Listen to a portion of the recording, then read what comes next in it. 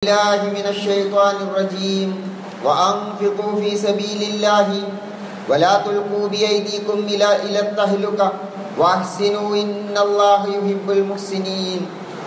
صدق الله പ്രിയപ്പെട്ട സഹോദരന്മാരെ സഹോദരിമാരെ അള്ളാഹു സുബാനഹു തായാലയുടെ കൽപ്പനകളും റസൂലുല്ലാഹി സല്ലാഹു അലഹി വസല്ലമയുടെ സുന്നത്തും നമ്മുടെ ജീവിതത്തിന്റെ എല്ലാ സന്ദർഭങ്ങളിലും സൂക്ഷിക്കുകയും പാലിക്കുകയും ചെയ്യണം. നാം ഓരോരുത്തരെയും വസീയത്ത് ചെയ്യുകയാണ് റബ്ബ് സുബാനഹു തായാല നമ്മെ അനുഗ്രഹിക്കുമാറാവട്ടെ.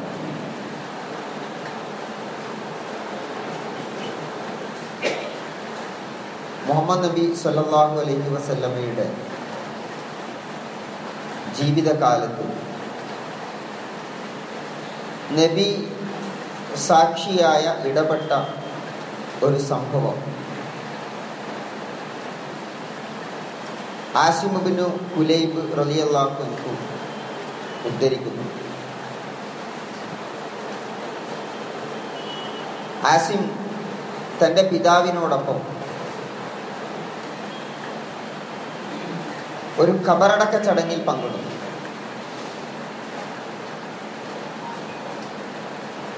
കാര്യങ്ങൾ സാമാന്യം മനസ്സിലാക്കാൻ കഴിയുന്ന പ്രായത്തിലാണ് അന്ന് ആസിം.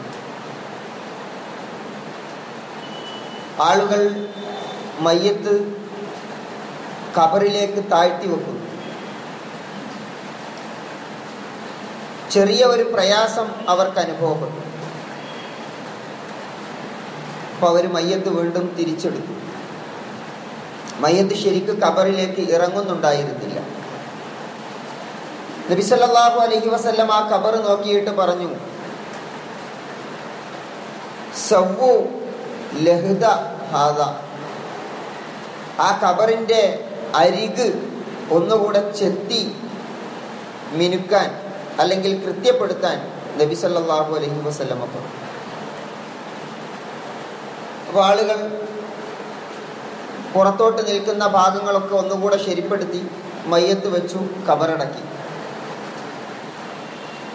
ചില ആളുകൾ വിചാരിച്ചു അങ്ങനെ കബറിന്റെ തെല്ലുകളൊക്കെ ഒന്ന് ചെത്തി മിനുസപ്പെടുത്തുന്നത് ക്ലിയർ ആക്കുന്നത് പ്രത്യേകമായ സുന്നത്താണ് എന്ന്. ഈ തെറ്റിദ്ധാരണ ജനങ്ങളുടെ ഇടയിൽ വന്നപ്പോ ഫൽത്തഫത്ത ഇലൈ ഹത്താ വന്നന്നാസു അന്നഹു സുന്നത്ത് ഫൽത്തഫത്ത ഇലൈ അപ്പൊ നബി സല്ലല്ലാഹു അലൈഹി വസല്ലമ അവരെ അഭിമുഖീകരിച്ചുകൊണ്ട് ഇങ്ങനെ പറഞ്ഞു. ഹത്താ അന്നഹു സുന്നത്ത് ജനം അത് സുന്നത്താണ് എന്ന് വിചാരിച്ചു. അപ്പോൾ ജനങ്ങളോട് നബി സല്ലല്ലാഹു അലൈഹി വസല്ലമ ഇങ്ങനെ പറഞ്ഞു. അമാ ഇന്ന ഹാദാ ലാ വലാ നിങ്ങൾ ആ കബറിന്റെ വക്കിൽ ബാക്കി നിൽക്കുന്ന കുറച്ചു ഭാഗം അത് മിനുസപ്പെടുത്തിയാലും ഇല്ലെങ്കിലും മയ്യത്തിന് പ്രത്യേകിച്ച് അതുകൊണ്ട് ദോഷവുമില്ല നേട്ടവുമില്ല. ലാ എൻഫൗൽ മയ്യത്ത. അത് മയ്യത്തിന് പ്രത്യേകിച്ച് ഒരു ഗുണം ചെയ്യില്ല. വലാ എതിർഹവും മയ്യത്തിന് പ്രത്യേകിച്ച് ഒരു ദ്രോഹവും ദോഷവും ചെയ്യില്ല. എന്നിട്ട് നബി സല്ലല്ലാഹു അലൈഹി വസല്ലമ പറഞ്ഞു വലാക്കിന്നല്ലാഹ യുഹിബ്ബു മിനൽ ആമിലി ഇദാ ആമില അൻ യുഹ്സിന. പക്ഷേ അള്ളാഹു ഒരു കാര്യം ഇഷ്ടപ്പെടുന്നു. നിങ്ങളിൽ ഒരാൾ എന്തെങ്കിലും ഒരു പ്രവർത്തനം ചെയ്താൽ അത് ഭംഗിയോടും പൂർണതയോടും കൂടി നിർവഹിക്കുന്നതാണ് അള്ളാഹുവിന് ഇഷ്ടം. വലാക്കിൻ അള്ളാഹു യുഹിബു അള്ളാഹു ഇഷ്ടപ്പെടുന്നു. മിനൽ ആമിൽ ഒരു പ്രവർത്തി ചെയ്യുന്ന ആളിൽ നിന്ന്. ഇതാ അമില അൻ യുഹ്സിന ആ പ്രവർത്തനം ഇഹ്സാനോടുകൂടി ആയിരിക്കണം. പൂർണതയും ഭംഗിയും കൃത്യതയും ഒരു കാര്യത്തിൽ പുലർത്തണം എന്നാണ് അള്ളാഹു ഇഷ്ടപ്പെടുന്നത്. പെർഫെക്ഷൻ എന്ന് നാം ഇംഗ്ലീഷിൽ പറയുന്ന ആശയത്തെയാണ് ഇഹ്സാൻ എന്നതുകൊണ്ട് ഇവിടെ ഉദ്ദേശിച്ചിട്ടുള്ളത്. തികവ് ഒരു പ്രവർത്തനത്തിൽ കൊണ്ടുവരണം അതാണ് അള്ളാഹുവിന് ഇഷ്ടം.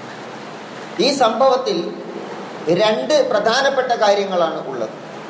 അതിലൊന്ന് നമ്മൾ എന്ത് പ്രവർത്തനത്തിൽ ഏർപ്പെടുമ്പോഴും എന്ത് ജോലി ചെയ്യുമ്പോഴും അത് പൂർണതയോടും ഭംഗിയോടും കൂടി നിർവഹിക്കണം എന്നതാണ്. വളരെ ലളിതമായി വളരെ മനോഹരമായിട്ടാണ് റസൂലുല്ലാഹി സല്ലാഹു അലൈഹി വസ്ല്ലാം ഒരു സന്ദർഭത്തിൽ നിന്നുകൊണ്ട് അത് നമ്മെ പഠിപ്പിക്കുന്നത്. രണ്ടാമത്തേത് കാര്യങ്ങളെ എപ്പോഴും ആരാധനാപരമായി മാത്രം നോക്കിക്കാണുന്ന ആളുകളാണ് പൊതുവിൽ മുസ്ലിംകൾ. ആരാധനാപരമായ കണ്ണോടെ കാണുകയും പരലോകത്ത് നിന്ന് കിട്ടുന്ന പ്രതിഫലത്തിൽ മാത്രം ശ്രദ്ധിക്കുകയും അതിനപ്പുറം ചിലതുണ്ട് എന്ന് മനസ്സിലാക്കാതെ പോവുകയും ചെയ്യുന്ന ഒരവസ്ഥ മുസ്ലിം സമൂഹത്തിൽ പൊതുവിലുണ്ട്. അതുകൊണ്ടാണ് സ്വഹാബികൾ അത് സുന്നത്താണ് എന്ന് വിചാരിച്ചത്. നബി എന്ത് ചെയ്താലും അതെല്ലാം സുന്നത്ത്. എന്ന ധാരണ അന്നുണ്ട് ഇന്നുണ്ട്. അങ്ങനെയാണ് സ്വഹാബികൾ ഇത് വിചാരിക്കുന്നത്. ഖബറൊക്കെ റെഡിയാക്കിയതിന് ശേഷം അതൊന്ന് മിനുസുന്നത് മിനുക്കം വരു മിനുസപ്പെടുത്തുന്നത് അതൊരു സുന്നത്താണ്. അപ്പൊ നബി പറഞ്ഞു അത് സുന്നത്തായിട്ടല്ല. അതുകൊണ്ട് മയ്യത്തിന് പ്രത്യേകിച്ച് ഗുണവും ദോഷവും അത് ഇല്ലതാണ്. പക്ഷെ സുന്നത്ത് എന്താണ്? കബർ ശരിയാക്കലല്ല സുന്നത്ത്. പിന്നെയോ? ഏത് പ്രവർത്തനത്തിലും പെർഫെക്ഷൻ കൊണ്ടുവരലാണ് സുന്നത്ത്. ഏത് കാര്യത്തിലും നിങ്ങൾ ചെയ്യുന്ന ഏത് കാര്യത്തിലും പൂർണതയും ഭംഗിയും ഉണ്ടാക്കലാണ് അള്ളാഹു ഇഷ്ടപ്പെടുന്ന കർമ്മം. അതാണ് ഒരു സത്യവിശ്വാസിയുടെ അടയാളം എന്ന്. ദുനിയാവുമായി ജീവിച്ചിരിക്കുന്ന സത്യവിശ്വാസിയുമായി ബന്ധപ്പെട്ട കാര്യമാണ് മയ്യത്തിനെ ബാധിക്കുന്നതല്ല മറിച്ച് ജീവിച്ചിരിക്കുന്നവരുടെ ക്വാളിറ്റിയെ അളക്കുന്നതാണിത്. അതാണ് നബി സല്ലാ അലൈഹി സ്വലമ പഠിപ്പിക്കുന്നത്. ഇങ്ങനെയും ഇസ്ലാമിനെ കുറിച്ച് ചില കാര്യങ്ങൾ നമ്മൾ പഠിക്കേണ്ടത് ജീവിച്ചിരിക്കുന്ന മുസ്ലിമിന്റെ ഗുണമാണത്. അവന്റെ പ്രവർത്തനത്തിന്റെ മേന്മയാണത്. ഈ ഹദീസിലെ അവസാനത്തെ വാചകങ്ങൾ നമ്മളുടെ എല്ലാവരുടെയും ശ്രദ്ധയിൽ എപ്പോഴും ഉണ്ടാകേണ്ടത്. ഭൂമിയിൽ ജീവിക്കുന്ന മുസ്ലിമിന് ചില ഗുണങ്ങൾ ഉണ്ടാകണം. അവന്റെ വ്യക്തിത്വത്തിന് ചില പ്രത്യേകതകൾ ഉണ്ടാകണം. തിളക്കമുള്ള വ്യക്തിത്വമാകണം. ആരാധനകൾക്കും പരലോകത്തെ പ്രതിഫലത്തിനും അപ്പുറത്ത് അതിനു കൂടി കാരണമാകുന്ന അതിൽ നിന്നുകൂടി ഉള്ള ഫലമായിട്ട് ലഭിക്കുന്ന മൂല്യബോധവും സംസ്കാരവും സത്യവിശ്വാസിക്ക് ഉണ്ടാകണം. ഒരു മുസ്ലിമിന്റെ സദ്ഗുണങ്ങൾ അവന്റെ പരലോക വിജയത്തിന്റെ കാരണം. ഒരു മുസ്ലിം നിർവഹിക്കുന്ന ആരാധനകൾ അവന്റെ സദ്ഗുണത്തിന്റെ കാരണമാണ്. ഇത് രണ്ടും പരസ്പര പൂരകമാണ്. നമസ്കരിക്കണം എന്ന് മാത്രമല്ല ഇസ്ലാം പഠിപ്പിച്ചത്. അത് എങ്ങനെ നിർവഹിക്കണം എന്ന് എന്നുകൂടിയാണ്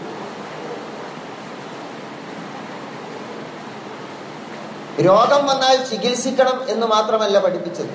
ആ ഡോക്ടറുടെ ക്വാളിറ്റി ഗുണം എന്തായിരിക്കണം എന്ന് എന്നുകൂടിയാണ്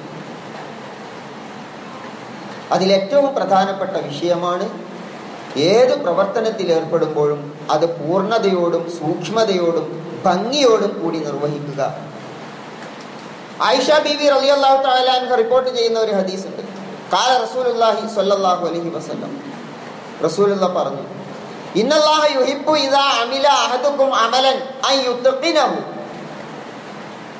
നിങ്ങളിൽ ആരെങ്കിലും എന്തെങ്കിലും ഒരു കാര്യം ചെയ്യുകയാണെങ്കിൽ അൻ അതിന്റെ പരിപൂർണതയിലും കൃത്യതയിലും നിർവഹിക്കണം എന്ന് അള്ളാഹു ഇഷ്ടപ്പെടുന്നു. അപ്പൊ അള്ളാഹുവിന് ഒരു കർമ്മം ഇഷ്ടപ്പെടുന്നതിന്റെ കാരണം ആ കാരണങ്ങളിൽ ഒന്ന് കർമ്മങ്ങളുടെ പൂർണതയാണ് എന്നാണ്. ഏത് പ്രവൃത്തിയും പല രീതിയിൽ നമുക്ക് ചെയ്യാൻ കഴിയും. ഇപ്പൊ നമ്മൾ പലതരം ജോലികൾ ചെയ്യുന്നവരാണ്. ചിലര് ബിസിനസ് ചെയ്യുന്നു. ഷോപ്പുകൾ നടത്തുന്നു. ചില ആളുകൾ ആ കടകളിൽ ജോലി ചെയ്യുന്നു. ചിലർ നിർമ്മാണ പ്രവർത്തനങ്ങളിൽ കെട്ടിട നിർമ്മാണ പ്രവർത്തനങ്ങളുടെ വിവിധ മേഖലകളിൽ ഏർപ്പെടും ചിലർ കല്ല് കെട്ടുന്നവരായിരിക്കും ചിലർ അത് പ്ലാസ്റ്റർ ചെയ്യുന്നവർ തേച്ച് മിനുക്കുന്നവരായിരിക്കും ചിലർ ഇലക്ട്രീഷ്യന്മാരായിരിക്കും ചിലർ ഇന്റീരിയർ ഡിസൈൻ ചെയ്യുന്നവരായിരിക്കും. അങ്ങനെ ഒരു നിർമ്മാണ പ്രവർത്തനത്തിന്റെ ഒരുപാട് വശങ്ങളുണ്ട്. ഇത്തരം നിർമ്മാണ പ്രവർത്തനങ്ങളിൽ ഏർപ്പെടുന്നവരായിരിക്കും. ചില ആളുകൾ തയ്യൽ ജോലി ചെയ്യുന്നവരായിരിക്കും.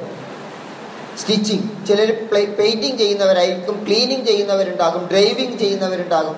ഇങ്ങനെ നമ്മൾ ഇപ്പൊ ഇവിടെ കൂടിയിരിക്കുന്ന ആളുകൾ എല്ലാവരും പലതരം ജോലിയിൽ ഏർപ്പെട്ടു. ഈ ജോലിയുടെ ഏറ്റവും വലിയ പ്രത്യേകത ഒരു മുസ്ലിം അത് നിർവഹിക്കുമ്പോൾ അതിന്റെ പൂർണതയിൽ നിർവഹിക്കണം അതിന്റെ ഭംഗിയിൽ നിർവഹിക്കണം എന്നതാണ്. നമുക്ക് പല രീതിയിൽ ചെയ്യാം. ചില ആളുകളെ നമ്മൾ ഒരു പണി ഏൽപ്പിച്ചാൽ അത് വളരെ മനോഹരമായിട്ട് അവർ ചെയ്യും. നമ്മൾ എല്ലാവരും ചെയ്യുന്ന ഒരു കാര്യമാണ് ബാർബർ ഷോപ്പിൽ പോയി മുടി വെട്ടുക. താടി ശരിയാക്കുക. ചില ആളുകളുടെ അടുത്ത് പോയി മുടി വെട്ടിയാൽ നമുക്ക് തൃപ്തിയാണ്. കാരണം അവർ വളരെ സൂക്ഷിച്ച് നമ്മു നമ്മുടെ ഒരു താല്പര്യം കൂടെ വെച്ചുകൊണ്ട് ശ്രദ്ധയോടുകൂടി അത് ചെയ്യും.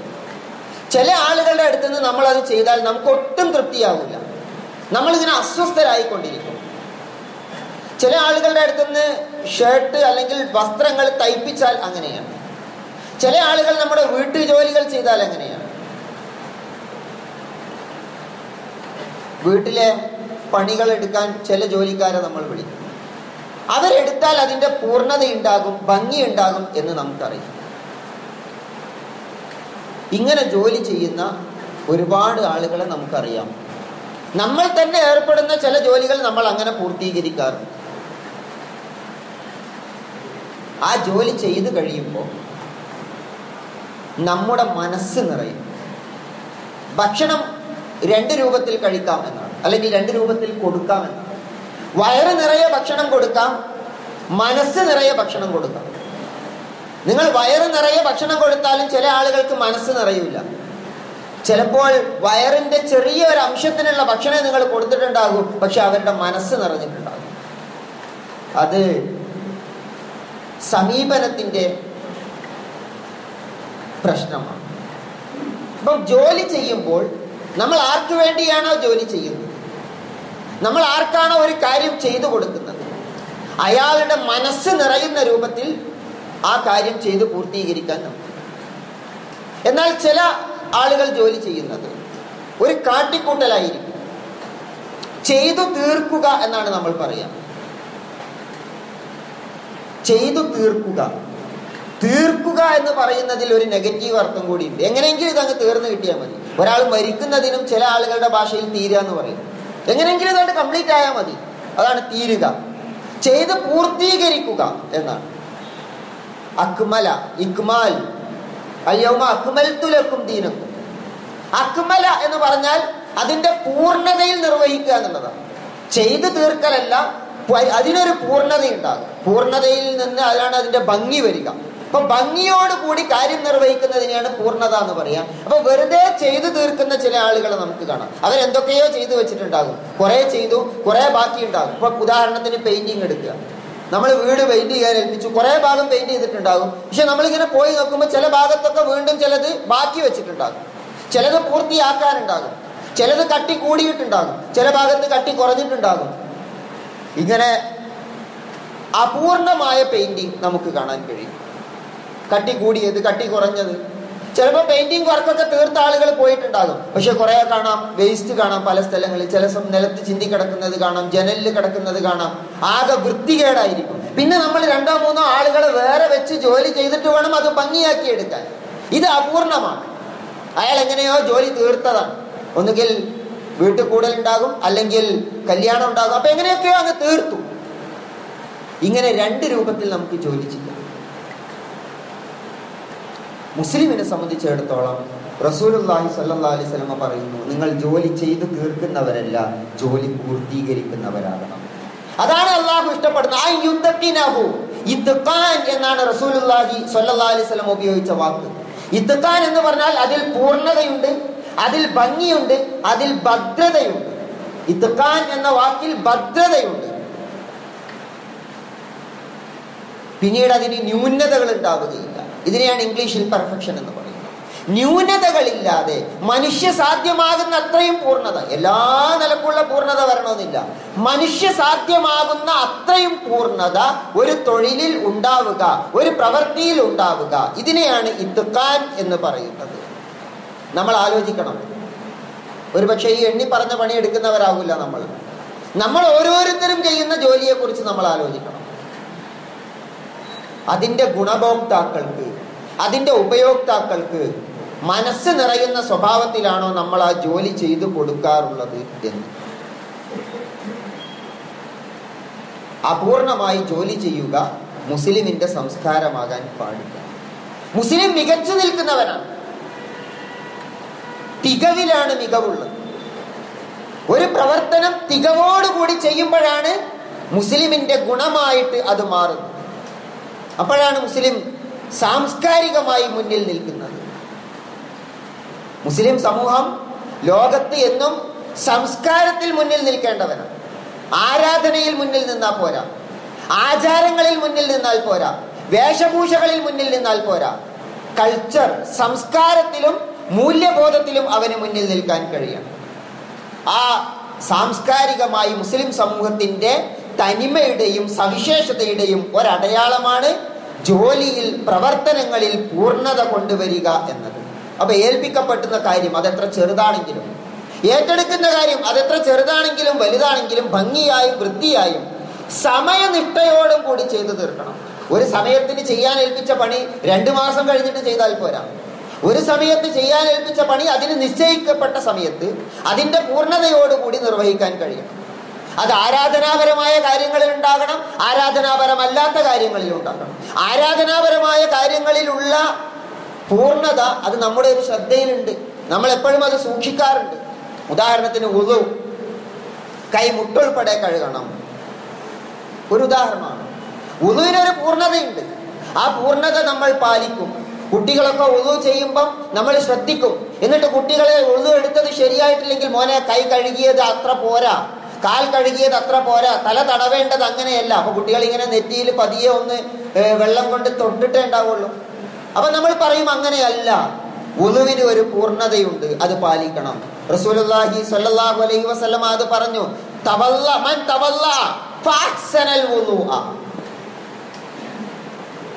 പ്രതിഫലത്തെ കുറിച്ച് പറഞ്ഞിടത്താണ് പ്രയോഗം. മൻ തവല്ല ഒരാൾ ഉളു ചെയ്തു. ഫഅഹ്സനൽ ആ അത് ഏറ്റവും ഭംഗിയോടുകൂടി നിർവഹിച്ചു. അങ്ങനെയുള്ള ഉളു ചെയ്തവൻ പരലോകത്ത് ഇങ്ങനെ ഇങ്ങനെയായിരിക്കും. മണി ഒത്തസല യോമൽ ജുമാ. യോമൽ ജുമായിൽ നിങ്ങൾ കുളിച്ചു. അത് അന്ന് കുളിയൊക്കെ കുറവാണ് കാരണം വെള്ളത്തിന് ക്ഷാമമുള്ള നാട്ടിൽ നിന്നുകൊണ്ടാണ് റസൂലുള്ള അന്ന് ഇത് സംസാരിക്കുന്നത്. അതുകൊണ്ട് ജുമുഅ ദിവസത്തെ കുളിയെ കുറിച്ച് റസൂലുള്ള പ്രത്യേകം പറയുന്നത് അത്- അതുകൊണ്ടാണ്. എന്നിട്ട് റസൂൽ പറയുന്നു. നന്നായി കുളിച്ചു. കുളിക്കാൻ മടിയുള്ള കുട്ടികളൊക്കെ ബാത്റൂമിൽ കയറിയിട്ട് തിരിച്ചിറങ്ങുന്ന ഒരു രീതി നമുക്കറിയാം. എങ്ങനെയൊക്കെ തലയൊക്കെ ഒന്ന് കഴുകി കുറച്ച് അവിടെ ഇവിടെ കുറച്ച് വെള്ളം ആയി. കുളിച്ചു എന്ന് വരുത്തി. അങ്ങനെയാണ് ഭാഷയിൽ കാക്ക വിളിക്കണ പോലെ എന്നൊക്കെയുള്ള പ്രയോഗങ്ങൾ വരുന്നത്. കുളിച്ചു എന്ന് വരുത്തുക. മുസ്ലിം അങ്ങനെയല്ല. നന്നായി കുളിക്കണം. എല്ലായിടത്തും വെള്ളമെത്തി. എല്ലായിടത്തു നിന്നും അഴുക്കൊക്കെ പോയി. അങ്ങനെ കുളിക്കണം. ഗുസ്ലഹു. അതുപോലെ തന്നെ കഫൻ ചെയ്യുക. റസൂലുള്ള വേറൊരു കാര്യം പറയും നിങ്ങൾ മയ്യത്ത് കഫൻ ചെയ്യുന്നു. ഇതാ കഫന അഹദക്കും മഹാഹു കഫനഹു. ഭംഗിയായി കഫൻ ചെയ്യണം. എന്തായാലും ഇത് കൊണ്ടുപോയി വെക്കാനുള്ളതല്ലേ? മണ്ണ് തിന്നാനുള്ളതല്ല അങ്ങനൊക്കെ മതി എന്ന് തോന്നരുത്. പിന്നെയോ. ഭംഗിയായി ചെയ്യണം. നിങ്ങൾ അയാളെ യാത്ര അയക്കുകയാണ്. അതിന്റെ ഇഹ്സാൻ പുലർത്തണം. മറ്റൊരിടത്ത് റസൂലുള്ളാഹി സല്ലാ അലൈഹി പറഞ്ഞു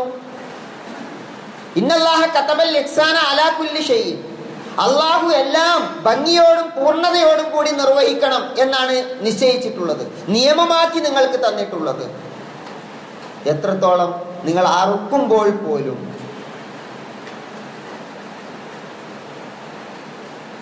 നിങ്ങൾ അറുക്കുമ്പോൾ പോലും അവൻ കത്തി മൂർച്ച കൂട്ടട്ടെ.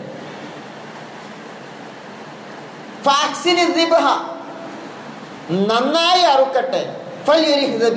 നിങ്ങൾ അറുക്കുന്ന മൃഗത്തിന് പക്ഷിക്ക് ആശ്വാസം കൊടുക്കട്ടെ. മൂർച്ചയില്ലാത്ത കത്തി കൊണ്ട് എങ്ങനെയൊക്കെയോ അറുത്തു. അറുത്തത് പാതിയിലായി. അതെങ്ങനെയൊക്കെയോ രക്തം വാർന്ന് അങ്ങ് മരിച്ചോളും. ആ മരിക്കുന്നത് വരെ വലിയ വേദന അത് സഹിച്ചോളും നമുക്കെന്താ? അങ്ങനെ അറുക്കാൻ പാടില്ല. അറവ് മൃഗത്തോട് നിങ്ങൾ കരുണ കാണിക്കണം. അത് നിങ്ങൾക്ക് ഭക്ഷണമാണ്. ഭക്ഷണമായിരിക്കാൻ തന്നെ അതിനോട് കാരുണ്യം കാണിക്കണം. നല്ല മൂർച്ചയുള്ള കത്തി കൊണ്ട് പെട്ടെന്ന് അറുത്ത് തീർത്ത് അതിനൊരു ആശ്വാസം കൊടുക്കണം. ആ ഉരുവിന് നിങ്ങൾ ആശ്വാസം കൊടുക്കണം. ഈ ഹദീസുകളൊക്കെ എടുത്താൽ കാണാം. റസൂൽ ഉപയോഗിച്ചിരിക്കുന്ന വാക്ക് ഇഹ്സാൻ എന്നതാണ്. ഇഹ്സാൻ ഭംഗിയോടും തികവോടും കൂടി ചെയ്യുക. അഹ്സൻ ഏറ്റവും നല്ലത് എന്നതാണ്. ഏറ്റവും നല്ലത്. അപ്പൊ നമ്മൾ ഏത് ജോലിക്കാരനാണോ ആ ജോലിയിൽ നമ്മൾ നാട്ടിൽ നിപുണനായിരിക്കണം. ഒരാൾ ഖുർആൻ അറിയുന്ന ആളാണ്. ഖുർആൻ പഠിക്കുന്ന ആളാണ്. അൽ മാഹിറാകണം എന്നാണ് റസൂലുള്ള പഠിപ്പിച്ചിട്ടുള്ളത്. അൽ മാഹിറു ബിൽ ഖുർആൻ. ഖുർആൻ അവിടുന്ന് ഇവിടുന്ന് കുറച്ചൊക്കെ അറിയാം. നമ്മൾ അറിയാം മുറിവൈദ്യൻ എന്നതുപോലെ അരപണ്ഡിതൻ അങ്ങനെയാകാൻ പാടില്ല. ഖുർആൻ പഠിക്കുന്നുണ്ടോ? അതതിന്റെ പൂർണതയിൽ പഠിക്കുക. ഇങ്ങനെ എല്ലാ കാര്യത്തിലും ഭംഗിയും പൂർണതയും കൊണ്ടുവരിക ഏറ്റവും നന്നായി ചെയ്യുക ഇതാണ് ഇസ്ലാം പഠിപ്പിക്കുന്ന രീതി. അതിന് ഇത്തുക്കാൻ എന്ന് ഉപയോഗിച്ചിട്ടുണ്ട് ഇഹ്സാൻ എന്ന് ഉപയോഗിച്ചിട്ടുണ്ട് പല വാക്കുകളും ഉപയോഗിച്ചിട്ടുണ്ട് മഹാരത്ത് എന്ന് ഉപയോഗിച്ചിട്ടുണ്ട് ദിക്കത്ത് സൂക്ഷ്മത എന്ന് റസൂലുള്ളാഹി സല്ലാ അലൈഹി വസല്ലം ഉപയോഗിച്ചിട്ടുണ്ട്. ഇങ്ങനെയുള്ള വാക്കുകളൊക്കെയും ഹദീസുകളിൽ നമുക്ക് കാണാൻ കഴിയുന്നതാണ്. നബി സല്ലല്ലാഹു അലൈഹി വസല്ലമ തന്നെ സ്വഹാബികളെ ഈ കാര്യങ്ങൾ പഠിപ്പിച്ചതും കാണാൻ കഴിയും. ഇപ്പോൾ മസ്ജിദ് നബവിയുടെ നിർമ്മാണം നടക്കുക. റസൂലുള്ളാഹിന്റെ പള്ളി. ആ പള്ളി നിർമ്മാണം നടക്കുമ്പോൾ ഈത്തപ്പനയോല മണ്ണ് ഇതെല്ലാം കുഴച്ചിട്ടാണ് പള്ളി നിർമ്മിക്കുന്നത്. അപ്പോ ഒരാൾ മണ്ണ് കുഴച്ചിട്ട് അതിങ്ങനെ തേച്ച് പിടിപ്പിക്കുകയാണ്. മിനുക്കിക്കൊണ്ടിരിക്കുകയാണ്. അപ്പൊ അയാൾ ചെയ്യുന്നത് ശരിയാവണില്ല. അതിനൊരു പുക പൂർണത കിട്ടുന്നില്ല. അപ്പൊ റസൂലുല്ലാഹി സല്ലാഹു അലൈഹി വസല്ലമ മണ്ണ് തേക്കുന്നത് ശരിക്കറിയാവുന്ന ഒരാളെ വിളിക്കാൻ പറഞ്ഞു. അങ്ങനെ അയാളെ വിളിച്ചു വരുത്തി. എന്നിട്ട് അയാളോട് പറഞ്ഞു നീ ഇത് ചെയ്യ്. അങ്ങനെ അയാൾ അത് ചെയ്യാൻ തുടങ്ങി. എന്തിനാണ് റസൂലുള്ള മറ്റേ ആളെ വിളിച്ച? എന്തായാലും മണ്ണ് തേക്കല്ലേ. അങ്ങനെ പോരാ. ചെയ്യുന്നത് അതിന്റെ ഭംഗിയിലും പൂർണതയിലും ചെയ്യണം. അത് നന്നായി ചെയ്യാൻ അറിയുന്ന ആളെ ഏൽപ്പിച്ചു. അയാൾ കുറച്ച് കഴിഞ്ഞപ്പോൾ ഞാൻ റസൂൽ അതും കൂടെ ചെയ്യട്ടെ എന്ന് ചോദിച്ചു. നമുക്കൊരു രീതി ഉണ്ടല്ലോ. അതും കൂടെ ഞാൻ തന്നെ ചെയ്യട്ടെ? റസൂൽ അത് പറഞ്ഞു അത് വേണ്ട. നീ ഇത് ചെയ്താൽ മതി ഇതിൽ ശ്രദ്ധിക്ക്. ഒരു കാര്യം അത് ഭംഗിയോട് കൂടി ചെയ്യുക. ചില പണ്ഡിതന്മാരുണ്ട്. അവർ പറഞ്ഞത് ഒരു കാര്യത്തിൽ നിങ്ങൾക്ക് പൂർണതയും ഭംഗിയും കൈവരിക്കണം എന്ന് ആഗ്രഹമുണ്ടെങ്കിൽ ലായക്കുൻ ഹം അഹദിക്കും ഫീ കെസിറത്തിൽ അമൽ. നിങ്ങൾ ഒരുപാട് കാര്യം ഒരേ സമയത്ത് ചെയ്തു തീർക്കണം എന്ന് വിചാരിക്കരുത്. ലായക്കുൻ ഹമ്മു അഹദിക്കും നിങ്ങളിൽ ഒരാളുടെ ഉദ്ദേശം ആഗ്രഹം ശ്രദ്ധ ഫീ കസ്രത്തിൽ അമൽ. ഒരുപാട് കാര്യങ്ങളിൽ ആകരുത്. ചെയ്യുന്ന കാര്യം പൂർണതയിലും ഭംഗിയിലും ഭദ്രതയിലും ചെയ്തു തീർക്കാൻ ശ്രമിക്കുക. ഹില്യത്തിൽ ഔലിയ എന്ന ഗ്രന്ഥത്തിൽ ആണ് ഇത് രേഖപ്പെടുത്തിയിട്ടുള്ളത്. ഒരുപാട് കാര്യം ഒരു ഒന്നിച്ച് ചെയ്യാൻ ശ്രമിച്ചാൽ കർമ്മങ്ങൾ അപൂർണമായി തീരും. അതേസമയം ഒന്നോ രണ്ടോ കാര്യങ്ങൾ അതിന്റെ തികവോട് കൂടി ചെയ്യാൻ ശ്രമിച്ചാൽ അതിനൊരു പൂർണത വരും. അഹ്സാബ് യുദ്ധത്തിൽ അങ്ങനെ തന്നെയാണ്. കിടന്നു കുഴിക്കുന്ന സമയത്ത് റസൂലുള്ളാഹി സല്ലാഹു അലൈഹി വസല്ലം ആ കിടങ്ങ് കുഴിക്കുന്നതിന്റെ പൂർണത ഉറപ്പുവരുത്താൻ വേണ്ടിയിട്ട് പറഞ്ഞു. അതുപോലെ തന്നെ അൻഹുവിനെ റസൂലുള്ള ഭാഷ പഠിക്കാൻ ഏൽപ്പിച്ചു. അപ്പൊ റസൂലുള്ള ആ പണി മാത്രമാണ് ബിൻ സാബിത്തിനെ ഏൽപ്പിക്കുന്നത്. കുറെ പണി ബിൻ സാബിത്തിനെ കൊടുത്ത് എല്ലാം ചെയ്തു എന്നാൽ ഒന്നോട്ട് പൂർണമായതുമില്ല. ഈ രൂപത്തിൽ ബിൻ സാബിത്ത് റളിയല്ലാഹു അൻഹുവിനെ റസൂലുള്ള ഏൽപ്പിച്ചില്ല. മറിച്ച് ഒരു കാര്യം ഏൽപ്പിച്ചു അത് ഭംഗിയായി ചെയ്യാം അതിന് അദ്ദേഹത്തിന് കഴിയും എന്ന് പറഞ്ഞു. ഇങ്ങനെയാണ് ഓരോ വിഷയത്തിലും ഇമാം ഇബിന് ഗസീർ ഈ സംഭവം ഉദ്ധരിച്ചുകൊണ്ട് പറയുന്നുണ്ട് മുസ്ലിം ഒരുപാട് കാര്യം ഒരുമിച്ച് ചെയ്യാനല്ല ചെയ്യുന്ന കാര്യങ്ങൾ ഭംഗിയിലും വൃത്തിയിലും ചെയ്തു തീർക്കാനാണ് ശ്രമിക്കേണ്ടത് ഒരു ഹദീസിൽ ഡോക്ടറെ കുറിച്ച് പറയുന്നുണ്ട് നൈപുണ്യം നേടിയ വൈദഗ്ധ്യം നേടിയവനാകണം ഡോക്ടർ. എന്നിട്ട് ആ വൈദഗ്ധ്യം അനുസരിച്ച് ചികിത്സിക്കുന്ന അവനാകണം അവനെ റസൂലുല്ലാഹി സല്ലല്ലാഹു അലൈഹി പ്രശംസിക്കുകയും ചെയ്യും ഇപ്പൊ നമ്മൾ ഡോക്ടർമാരുടെ അടുത്ത് പോയാൽ ചില ആളുകളുടെ അടുത്ത് പോയാൽ നമുക്ക് തൃപ്തിയാണ്. കാരണം അവർ നന്നായി പരിശോധിക്കും നന്നായി ചികിത്സിക്കും. ചില ആളുകൾ പരിശോധിച്ചു എന്ന് തോന്നുന്ന സ്വഭാവത്തിൽ നോക്കി അങ്ങ് വിടും. നമുക്ക് മനസ്സിന് തൃപ്തിയാവില്ല. രോഗം എന്ന് പറയുന്നത് ശാരീരികം മാത്രമല്ല മാനസികം കൂടിയാണ്. ചികിത്സയും ശാരീരികം മാത്രമല്ല മാനസികം കൂടിയാണ്. ഡോക്ടർമാർ തരുന്ന മരുന്ന് മാത്രമല്ല ഡോക്ടർമാരുടെ സമീപനവും അവരുടെ വാക്കുകളും അവരുടെ പെരുമാറ്റവും ഒക്കെ ഒരു രോഗിയുടെ രോഗശമനത്തിന് കാരണമാണ്. അതെല്ലാം ചേർന്ന് വരുമ്പോഴാണ് ഡോക്ടറുടെ ചികിത്സക്ക് പൂർണത വരിക. അല്ലാതെ മരുന്ന് മാത്രം കൊടുക്കുന്ന ഡോക്ടർക്ക് രോഗിയുടെ മനസ്സറിയാൻ കഴിയില്ല. അപ്പൊ മനസ്സിനെ സംതൃപ്തിപ്പെടുത്തുന്ന രൂപത്തിൽ ചികിത്സ മാത്രമല്ല എല്ലാ ജോലികളും ഏർപ്പെടണം എന്നാണ് ഇതിന്റെ അർത്ഥം. അങ്ങനെ ഒരുപാട് സംഭവങ്ങൾ. എങ്ങനെയാണ് നമുക്കൊരു ജോലിയിലെ ഒരു പ്രവർത്തനത്തിലെ പൂർണത ഉറപ്പുവരുത്താൻ കഴിയുക? അതിന് കുറെ മാനദണ്ഡങ്ങൾ പണ്ഡിതന്മാർ വിശദീകരിച്ചിട്ടുണ്ട്. ചില തത്വങ്ങൾ പാലിക്കണം എന്ന് പറഞ്ഞിട്ടുണ്ട്. അതിൽ ഒന്നാമത്തേത് ആത്മാർത്ഥതയുണ്ടാകണം നമ്മളൊരു കടയിലെ ജോലിക്കാരനാണ്. നമ്മളൊരു വീട്ടിലെ പണിക്കാരനാണ്. അല്ലെങ്കിൽ നമ്മൾ ഒരു സ്ഥാപനം നടത്തുന്നവരാണ് എന്താണോ നമ്മൾ ചെയ്യുന്നത്? അതിന്റെ ഗുണഭോക്താക്കളോട് അതിന്റെ ഉപയോക്താക്കളോട് നമുക്ക് ആത്മാർത്ഥതയുണ്ടാകണം. ഞാൻ എനിക്ക് വേണ്ടി പ്രാർത്ഥിക്കുന്ന പോലെയാണ് ഞാൻ മറ്റുള്ളവർക്ക് വേണ്ടി പ്രവർത്തിക്കേണ്ടത്. ഞാൻ എനിക്ക് വേണ്ടി പ്രാർത്ഥിക്കുന്ന പോലെ അത് എത്രമാത്രം ആത്മാർത്ഥത ഉണ്ടാവും? അതുപോലെയാണ് മറ്റുള്ളവർക്ക് വേണ്ടി പ്രവർത്തിക്കേണ്ടത്. പ്രവർത്തനവും ഒരു പ്രാർത്ഥനയാണ്. ജോലിയും ഒരു ആരാധനയാണ് എന്ന മനസ്സ് നമുക്കതിൽ കൊണ്ടുവരാൻ കഴിയണം അപ്പൊ ആത്മാർത്ഥതയുണ്ടെങ്കിൽ മാത്രമേ നമുക്കതിൽ പൂർണത കൈവരുത്താൻ കഴിയൂ. മാത്രമല്ല ഞാൻ ചെയ്യുന്ന ഒരു ജോലി അതെന്നെ ഏൽപ്പിച്ചിട്ടുള്ള ആൾക്ക് വേണ്ടി മാത്രമല്ല ഞാൻ ആ ജോലി ചെയ്ത് പൂർത്തീകരിച്ചു കഴിഞ്ഞാൽ അത് എന്റെ വ്യക്തിത്വത്തെയാണ് അടയാളപ്പെടുത്തുക. ഇതാര് ചെയ്തതാ? ഇതാര് ചെയ്തതാ എന്ന് ചോദിക്കും. അപ്പൊ ഞാൻ ചെയ്യുന്ന ജോലി അത് ആർക്ക് വേണ്ടിയാണെങ്കിലും അതിന് ശമ്പളവും കൂലിയും വാങ്ങുന്നുണ്ടെങ്കിലും ആ ജോലി ഒന്നാമതായി എന്റെ തന്നെ വിലയിരുത്തലാണ് എന്ന് മനസ്സിലാക്കണം. ഓരോ ജോലിയും എന്നെ തന്നെ മാർക്കിടാനുള്ള എന്റെ ആൻസർ ഷീറ്റാണ് എന്ന ബോധം ഓരോ തൊഴിലിലും ഏർപ്പെടുന്ന ആളുകൾക്ക് ഉണ്ടാകണം രണ്ടാമത് ശരിയായി ആസൂത്രണം ചെയ്ത് നല്ല ചിട്ടയോടെ വേണം പ്രവർത്തിക്കാൻ. ആസൂത്രണം ഇല്ലാതെ എങ്ങനെയൊക്കെയോ പോയി എങ്ങനെയൊക്കെയോ ജോലി ചെയ്യുക അങ്ങനെ ഉണ്ടാകരുത്. ചില ജോലിക്ക് നമ്മൾ ആളെ ഏൽപ്പിച്ചാൽ എനിക്ക് ഈ അടുത്തൊരു അനുഭവം ഉണ്ടായി. ജോലിക്ക് ഏൽപ്പിച്ച ആൾ അതിന്റെ രണ്ട് ദിവസം മുമ്പ് വീട്ടിൽ വന്ന് എല്ലാ സംഗതിയും നോക്കി പരിശോധിച്ച് മനസ്സിലാക്കി ഇന്ന ഇന്ന കാര്യങ്ങൾ ആവശ്യമാണ് എന്ന് പറഞ്ഞിട്ടാണ് രണ്ട് ദിവസത്തിന് ശേഷം അയാൾ ജോലിക്ക് വരുന്നത്. അപ്പോൾ ആവശ്യമായ ആസൂത്രണവും മുന്നൊരുക്കവും ഒരു ജോലിക്ക് ഉണ്ടാകണം. മൂന്നാമത്തേത് മറ്റുള്ളവരുടെ അനുഭവ പാഠങ്ങളിൽ നിന്ന് നമ്മൾ പഠിക്കണം. മറ്റുള്ള ഒരുപാട് ആളുകൾക്ക് ഒരുപാട് അനുഭവങ്ങൾ ഉണ്ടാവും പരിചയങ്ങൾ ഉണ്ടാകും. അതൊക്കെ വെച്ചുകൊണ്ട് നമ്മളൊരു ജോലിയിൽ ഏർപ്പെടുമ്പോൾ നമ്മൾ അതിൽ നിന്ന് പഠിച്ച് മനസ്സിലാക്കിയിട്ട് വേണം ചെയ്യാൻ. നാലാമത്തേത് പൂർണമായ ശ്രദ്ധ ഒരു കാര്യത്തിൽ കേന്ദ്രീകരിക്കണം. ഒരു കാര്യത്തിൽ പൂർണ ശ്രദ്ധ കേന്ദ്രീകരിക്കണമെങ്കിൽ നേരത്തെ പറഞ്ഞ പോലെ ഒരു സമയത്ത് ഒരു പണിയെ ചെയ്യാൻ പാടുള്ളൂ. അല്ല ഒരാൾക്ക് ഒരുപാട് മനസ്സ് കൊടുത്തിട്ടില്ല. ഒമാ റജുലിൻ കൽബൈനി. അല്ല രണ്ട് മനസ്സ് കൊടുത്തിട്ടില്ല. ഒരു സമയത്ത് ഒരു പണി എടുക്കാൻ പറ്റും. ചില ആളുകളുണ്ട് ഒരുപാട് പണി ഏറ്റെടുക്കും. അവരെല്ലാം ചെയ്യും. പക്ഷെ ചെയ്ത് തീർക്കല. ഒന്നും പൂർത്തിയായിട്ടാവില്ല. എല്ലാ പണിയും നോക്കിയാൽ അമ്പത് ശതമാനം അറുപത് ശതമാനം എഴുപത് ശതമാനം. അപ്പൊ നോ ചോദിച്ചാൽ എന്താ പറയാ? എനിക്ക് എത്രയാ ഉത്തരവാദിത്വം? നിങ്ങളോട് ആരാ ഇതെല്ലാം ഏറ്റെടുക്കാൻ പറഞ്ഞു അവനവന്റെ കഴിവിനെ കുറിച്ച് അവനവനാണ് ആദ്യം ബോധ്യം ഉണ്ടാവേണ്ടത്. മറ്റുള്ള ആളുകൾ ഇങ്ങനെ ഏൽപ്പിക്കും. അത് ഒരു ഇപ്പോഴത്തെ കാലത്ത് പ്രത്യേകിച്ചും സേവന പ്രവർത്തനങ്ങളാണെങ്കിൽ അത് വേസ്റ്റ് ഡംപ് ചെയ്യണ മാതിരിയാണ്. ഒരാൾ ഏറ്റെടുക്കേണ്ട അവിടെ തന്നെ കൊണ്ടുപോയിട്ട് പിന്നെയും പിന്നെയും കൊടുക്കും. അവനവന് ബോധം ഉണ്ടാവണം എനിക്ക് ഇത്രേ ചെയ്യാൻ കഴിയും. അവസാനം എന്താ ഉണ്ടാവുക?